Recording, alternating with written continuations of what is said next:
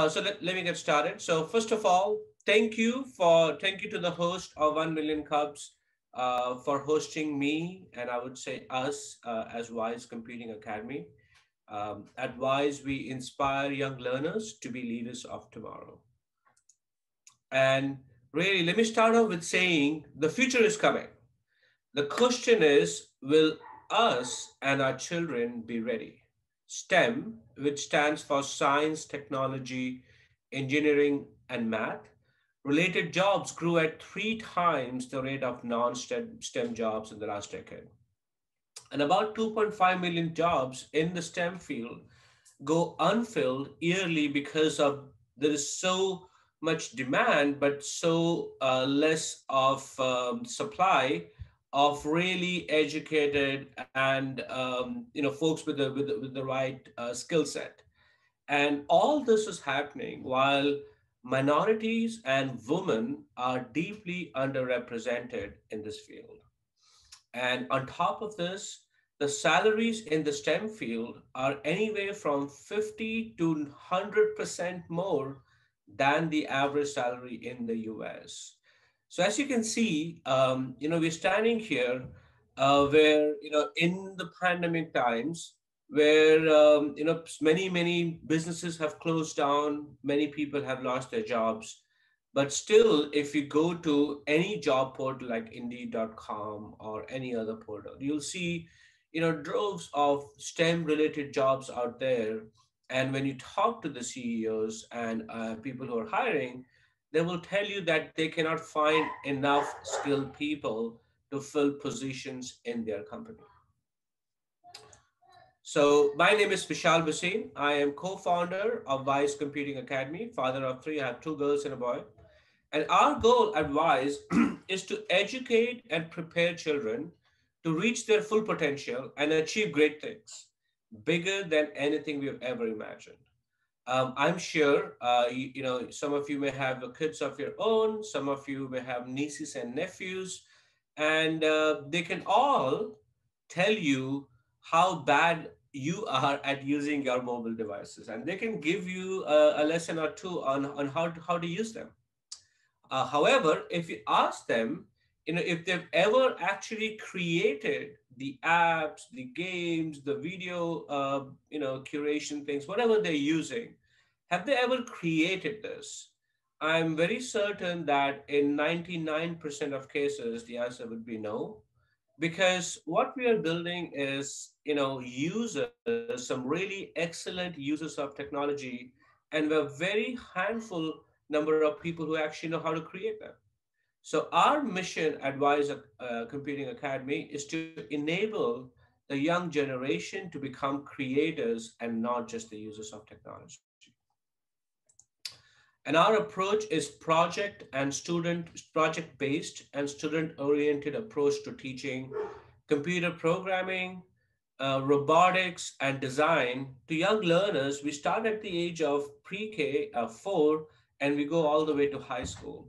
And we do our teaching online and also at host location. By host locations, I mean um, schools, preschools, uh, community centers, even churches, temples, you know, um, anywhere where there is good facility and good infrastructure available and where we already have learners or students there, our model is to go and reach out to them uh, where they already are.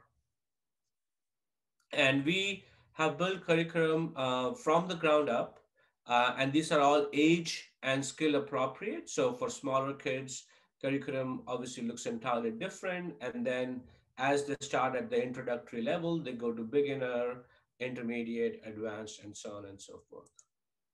So we are a, a huge believer in learning by doing.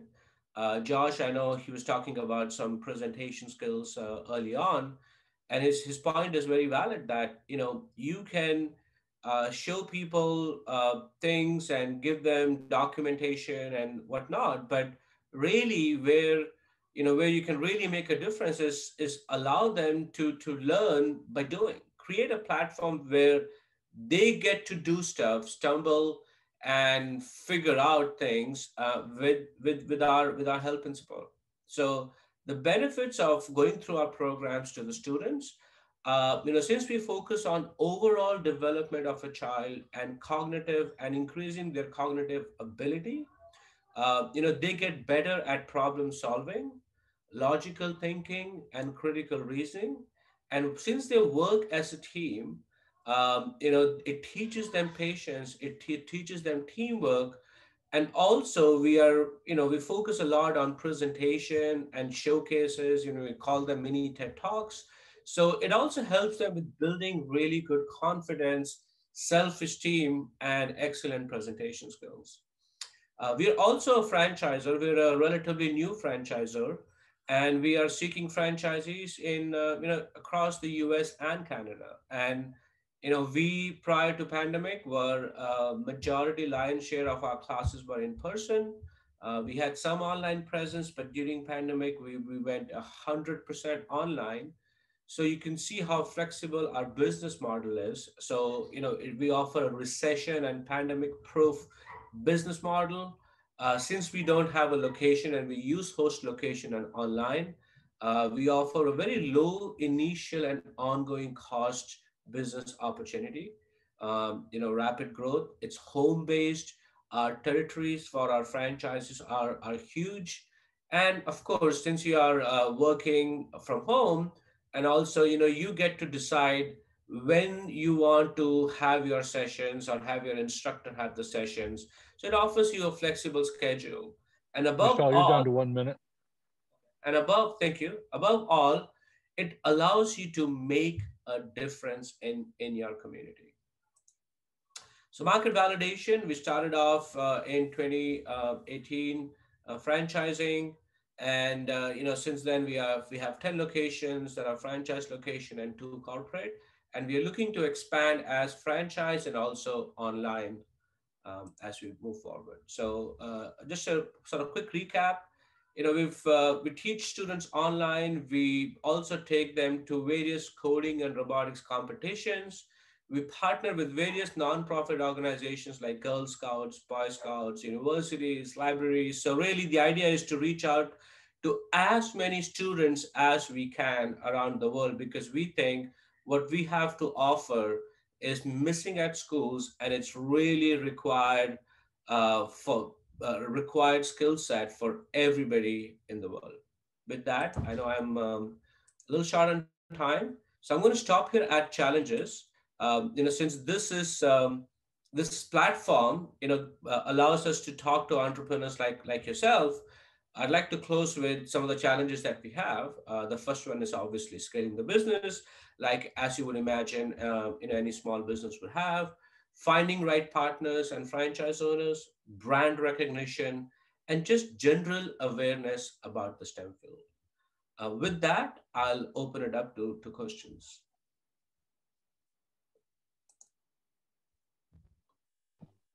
Nice job. Very nice. Thank you so much for sharing. Uh, let's start with Eric. How did you decide to start Wize Academy? Uh, that's a that's a great question. So we started Wize Academy about six years ago, and uh, you know my elder one, she was about six, six and a half, or I think five about that time, and we were we really you know we I come from a tech background. My wife and I, we both co-founders. We both come from a technology background, and we really you know believe in learning by doing. And we were looking for um, you know areas where we could you know where we can expose her to really be start creating our own uh, things. Be creative. We understand that you know technology is the medium um, for the current times. It offers you multi-dimensional way to express yourself to, to be creative. And really honestly we didn't really see a whole lot of opportunities out there for a child like this and we felt that you know we always wanted to be a, a sort of own our own business and we felt that there may be certain opportunity here. So we started off with uh, just inviting some of our uh, some of the kids of of, of our friends uh, in our media room. That's where we started. We started uh, taking classes in our media room and sort of grew from there. And then started to reach out to schools, and the school, schools expressed good interest, and then sort of one thing led to another. Very cool. Those are those are the best stories. I love those. Uh, uh, Eric's other question: Do you do more with homeschool students, and are you able to get into public schools? Right. So we um, we are actually in quite a few public school districts in the Dallas Fort Worth area, and some of our franchises are also in public schools as well. Uh, we go to public, private, charter, preschools, all types of schools. And for home schools, we do, you know, we've tried quite a bit to actually uh, reach out to the homeschool community. And we do have a few handful of homeschoolers um, who do our online classes. Uh, but I think that is a, that is a, there's a huge potential there. And for whatever reason, we've not been able to get, um, you know, increase the number of students on the homeschool side, uh, which we would certainly love to do. You know, we have a few of them. Um, on the on public schools, yes, we do um, we do open to public schools. Uh, uh, prior the pandemic, we used to go there in person, and today uh, we do all our classes online. And actually, uh, a public school in in Michigan reached out to us, um, you know, in early spring and said, "Hey, our students are going to be done. Um, can they take classes with you?" And we said yes. So we even have schools from Michigan um, who are participating in our online program now. Awesome, awesome. Uh, Denny's question, what do you think is the problem with our country and students not being interested in STEM? Why is that the case, in your opinion? Yeah, no, this is a this is a great question. So uh, I just feel that um, people have not been exposed to the possibility to to all the i mean of course there's a lot of people who are in the stem field but i think that that's less than 10% of the general population and it, i think it's a lack of exposure maybe lack of interest in the science and technology field you know maybe it's um, uh, it's just uh, you know ignorance in some cases and also in some cases people are more interested in in in, in other areas than uh, being a being an engineer or being a scientist. So i think the it's it's on on us um, entrepreneurs educators to really sort of go out there and tell them you know show them all the cool things they can do in this field because you know we've seen uh, where we've taken classes when we started off.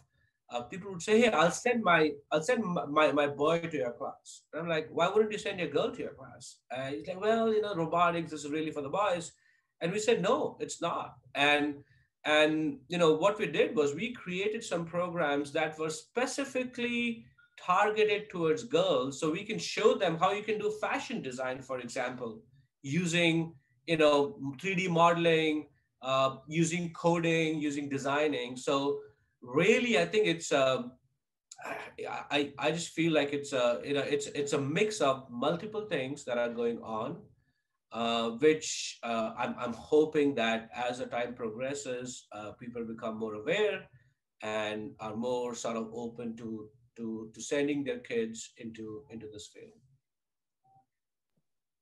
Yeah, that's an excellent, excellent point. And there's some organizations I know about I can send you that are helping women uh, get into STEM, and it's it's really cool stuff. Uh, Tony's wants to know what are your rates, uh, and I, I don't know if he means that in terms of like maybe the franchisees, uh, like what is the cost to be a franchisee as well? He, he asked that question. So just can you talk in general about your rates and then the cost for a franchise? Certainly, certainly. So I'll start off with our rates. So we typically do classes uh, throughout the school year. We follow the school schedule. And our classes are anywhere from 85 to $100 per month. And these are 45 minutes to an hour session per week. And we follow school schedule. So if it's four weeks in a, in a, in a month, then we'll take four classes. If it's five, then we'll take five. And because it's the reason it's a range is because you know we have locations, um, you know, in Pennsylvania, for example, the standard of living is a little bit higher. And in Dallas, Fort Worth, our classes run at about 85 to $89 per month. We also offer camps in summer, spring, and winter break.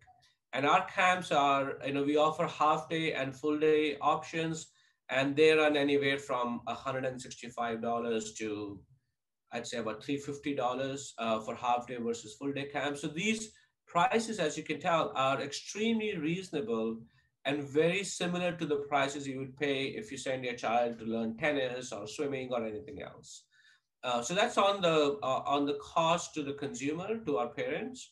Uh, on franchising, our initial franchise fee is twenty nine thousand five hundred, so two nine five zero zero, and that's really it. Um, you know, there is uh, some additional cost in just setting up your business, some legal fees, and uh, insurance requirements, things like that, which is a you know maybe three, four, five thousand dollars. Um, but that's really it. Um, you know, after that, uh, the royalty is eight percent, which is on your gross revenue per month, um, and there is no other hidden fee. There is no other hidden cost that that that that we apply. I hope that answers the question. Okay. Yeah, and along the same line, so we'll we'll keep the franchise theme going here. Uh, what what do you uh, what do franchise owners do? Do they do the actual facilitation in the classes? And if so, what resources do you provide to franchisees? Certainly. So we have both the models. So we we have many franchisees who who love to teach and they became they become teachers themselves. But we also have franchise, of course, as you scale, you know, it cannot be a one person thing. So as you scale, you hire instructors uh, on a part-time basis uh, or full-time basis based on your needs. Uh, so franchisees, uh, franchise owners can teach themselves or can be a business owner. So there are two main things that we that we want our franchise owners to be sort of uh, successful at and have focus on. The first one is business development, and business development is to bring business in, be part of your community, go reach out there, and you become the face of Wize Computing Academy in your local hometown. and that's really you know, you coordinate with schools, preschools, with parents directly. So it's B2B and B2C both. Uh, so that's one aspect. The other aspect is ensure quality of the classes that we are that we are running.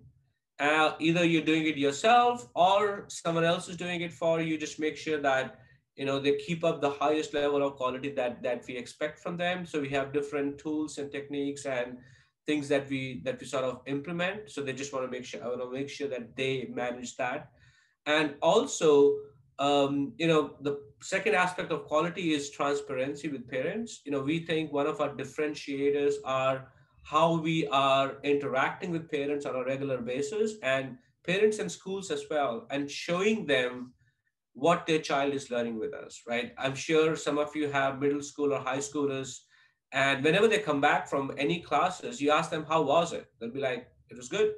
Well, can you tell me something more? Uh, not, not really, maybe, maybe later, right? Um, so what we wanted to do was, uh, we wanted to make sure that we tell the parents directly. So we use a uh, mobile apps, uh, you know, technology to really keep the parents, the generals, the, the main stakeholders aware of what we are teaching as well. So those are the two main aspects that we want our franchise owners to focus on you also asked Josh, how do we support them? We offer them training on sales, marketing, operation.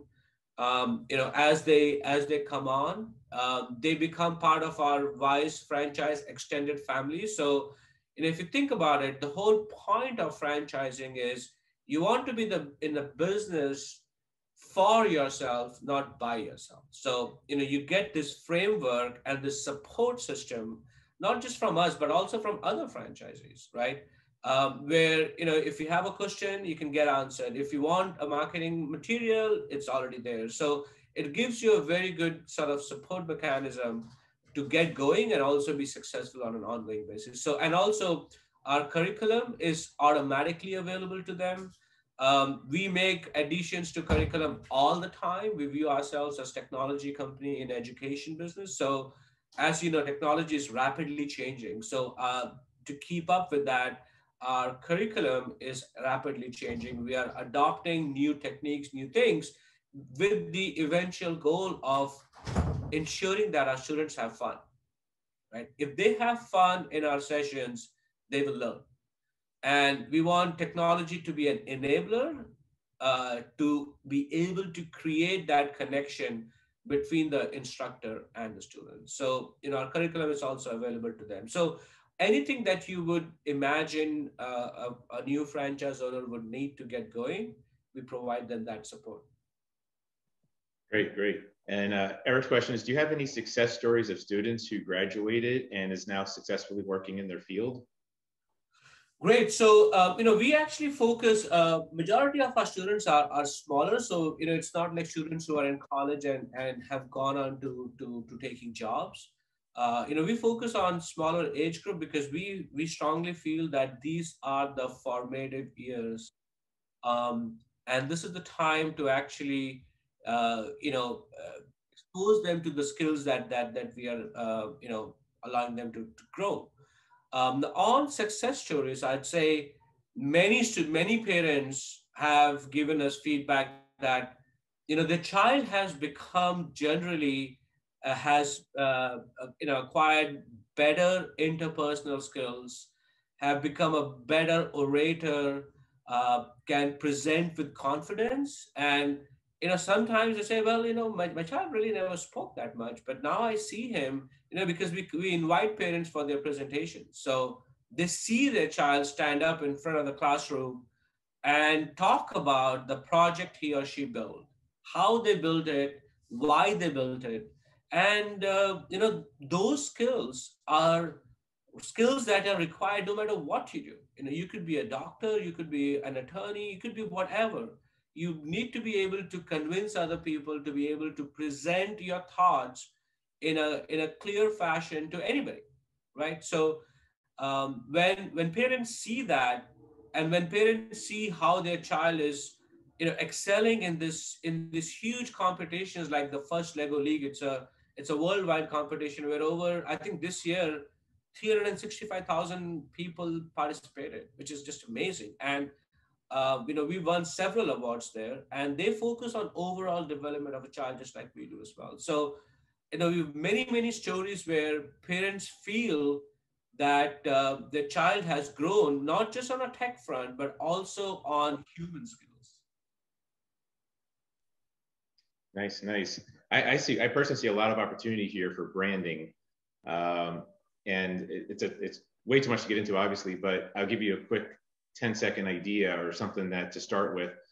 Uh, consider that when you know what do you do? Like what you do is not stem education. That's not actually what you do. It's it's kind of if you get that out of your mind for a second and imagine what you do is maybe um, you create creators or for for the women stem for the girl stem you maybe you put the flower on the stem right? You can play with that but maybe you you're, you're opening minds. So always talk about the effects of what you do and start maybe thinking about that thinking about the change you're, you're creating in the world as what you do, and then STEM education as how you do it. Absolutely, Josh. That's that's that's very good feedback. Um, and yeah, I, I 100% agree with you that uh, branding and positioning are super important. Sometimes we get lost with what we do as opposed to what impact we have, right? No, yeah. but no, great feedback. I think uh, we'll certainly take those and sort of use those to to to make our uh, position and you know better and also just sort of uh, reach out to parents with the impact as opposed to uh, yeah. you know uh, the the the nitty gritty of what we do yeah because otherwise you get lost in the noise because everyone says i'm in education we're doing this kind of education and it just becomes this white noise of right. there's too much too many choices out there but then you stand out because you're talking about why you're doing this business and the effects you're having on kids uh, and it makes you unique. It's that that different voice. So my two cents on that. If, um, if I may make a suggestion as well, um, you know, I'm in game development, which is one of the fastest growing industries in the world right now. Um, you know, it grew 20% last year and, and so forth. The um, um, I'm I support a lot of STEAM programs, and so they add the A for arts. That's right. Right in the STEM, and that historically sees a, a, greater, a, a, more significant num, uh, amount of involvement of uh, women and girls uh, in those programs than, than STEM programs. Uh, it's it's an optics thing, right? Um, so I don't know if that's something you might want to pivot in or, or whatever to help bring in more girls.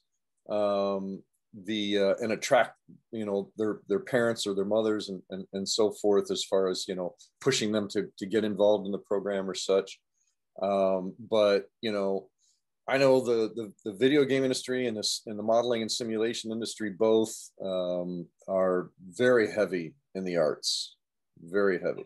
Absolutely. So, uh, uh, Rupert, I I agree with you, and we embrace this STEAM, um, you know, full heartedly. Mm-hmm. Uh, that's why we also teach design. We actually teach uh, game development with Roblox, uh, and mm. we also teach 3D modeling, designing printing, uh, you know, uh, augmented and virtual reality coding, things like mm-hmm. that. Mm-hmm. And you, are right. I mean, anything that we can do to attract a hundred percent of students, as opposed to just a partial number, is what we are. We are, you know, what we always try to do.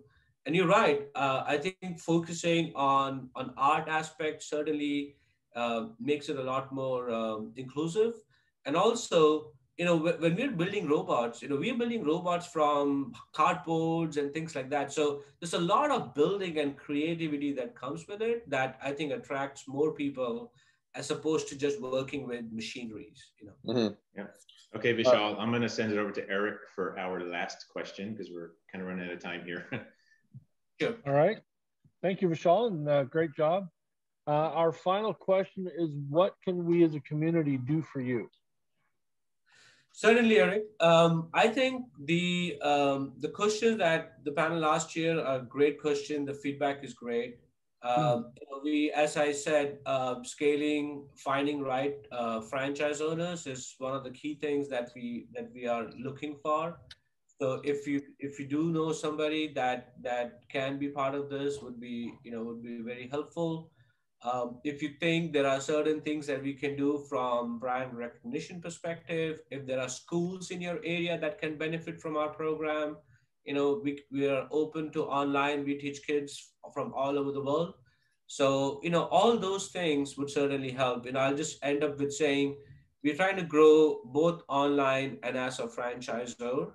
And there are the possibilities are immense and we just need to make sure that we get the right kind of people to partner with us. So if we can help with that that would be great. All right great. Okay